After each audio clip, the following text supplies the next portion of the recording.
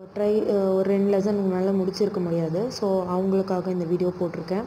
நான் ஃபஸ்ட்டு போட்ட பிளான்லேருந்து நீங்கள் எந்த நாள் பிளானை செலக்ட் பண்ணுறீங்களோ அந்த பிளானை மட்டும் ஃபாலோ பண்ணுங்கள் தயவு செஞ்சு எல்லா பிளானையும் ஃபாலோ பண்ணி சொதப்பிடாதீங்க. ஸோ இப்போ வந்து பார்த்தீங்கன்னா ஒரே நாளில் எப்படி ப்ரிப்பேர் பண்ணுறது அப்படின்னு பார்க்கலாம் இப்போ உங்களுக்கு டோட்டல் சாப்டர்ஸ் வந்து twelve eleven sorry eleven chapters இருக்குது இந்த eleven chapter one two three four five six seven eight nine and ten eleven eleven chapters இருக்குது டோட்டலாக இதில் பார்த்தீங்கன்னா இந்த சிக்ஸ்த்து சாப்டர் வந்து ரொம்ப பெரிய சாப்டர் ஓகேங்களா ஆனால் நீங்கள் என்ன நினைப்பீங்க? இந்த சாப்டரை ஸ்கிப் பண்ணிடலாம் அப்படின்னு நினைப்பீங்க.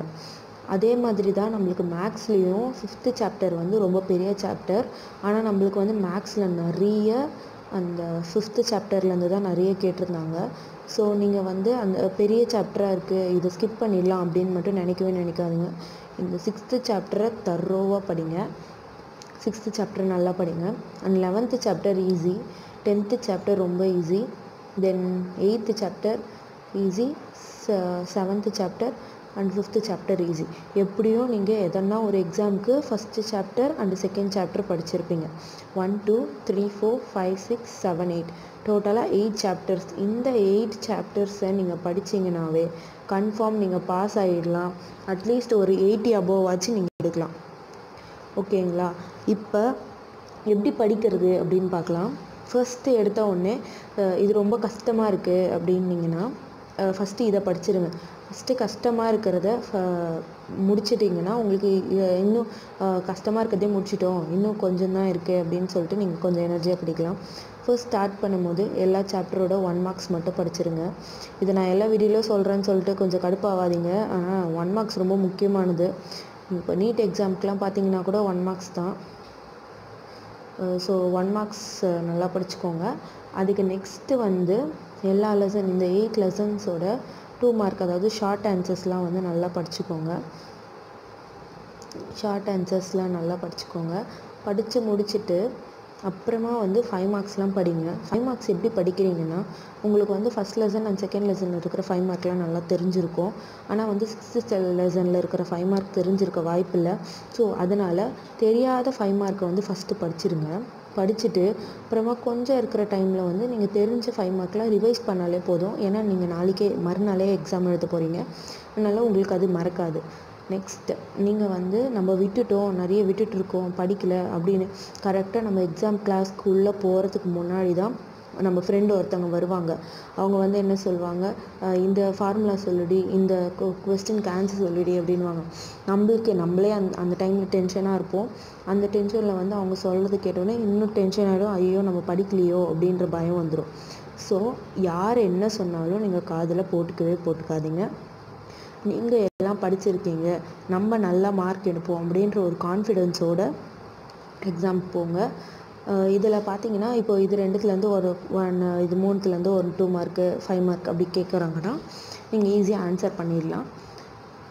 தென் இது இதை தான் நான் சொல்கிறது யார் யார் என்ன சொன்னாலும் டென்ஷன் பண்ண இந்த மாதிரி ஒரு சுச்சுவேஷன் உங்களுக்கு நடந்திருக்குன்னா நீங்கள் அதை கமெண்ட் பண்ணுங்கள் ஸோ நெக்ஸ்ட்டு வந்து ஃபைவ் மார்க் தெரிஞ்சது தெரியாது ஃபஸ்ட்டு படிச்சுட்டு அப்புறமா தெரிஞ்சதை படிங்க.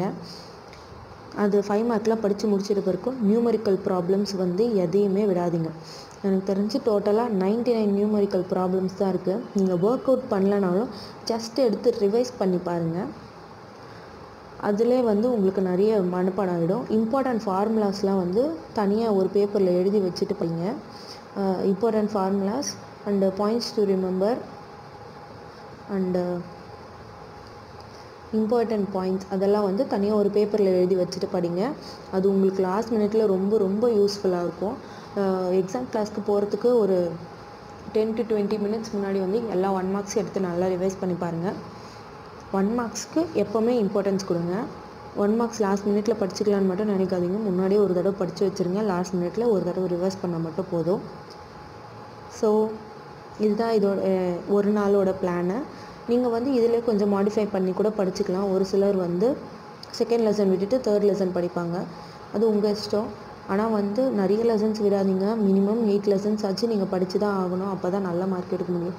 ஏன்னா கொஷின் பேப்பர் எப்படி வரும்ன்ற ஒரு ஐடியாவே நம்மளுக்கு கிடையாது. திடீர்னு பேட்டர்ன்ஸ்லாம் கூட மாறுற சான்சஸ் இருக்குது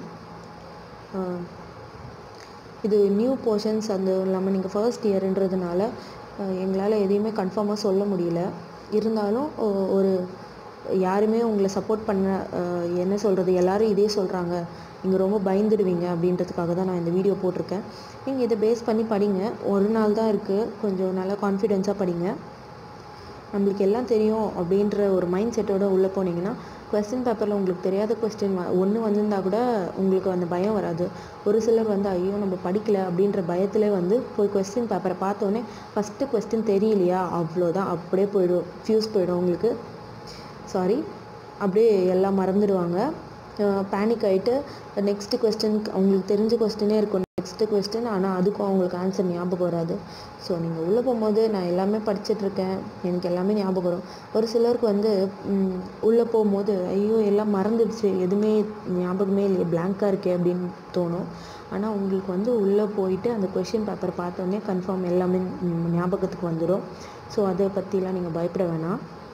அப்புறமா வந்து ஆன்சர் ஷீட் கொடுக்கறதுக்கு முன்னாடி எல்லா கொஸ்டின்ஸும் எழுதிட்டோமான்னு பாருங்கள் முதல்ல எத்தனை கொஸ்டின் எழுதணும்னு பாருங்கள் அத்தனை கொஸ்டினும் எழுதிட்டீங்களான்னு பாருங்கள் ஃபைவ் மார்க்ஸ்லாம் வந்து ஏபி ஆப்ஷனோடு இருக்கும். அந்த ஆப்ஷன்ஸ்லாம் போட்டு எழுதியிருக்கீங்களான்னு பாருங்கள் ஓகே தேங்க்யூ நெக்ஸ்ட் என்ன வீடியோ வேணும்னு கமெண்ட் பண்ணுங்கள்